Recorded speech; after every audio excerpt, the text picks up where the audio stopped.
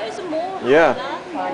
These big goldfish in this nifty uh, pond. Oh, raining in London. Yeah.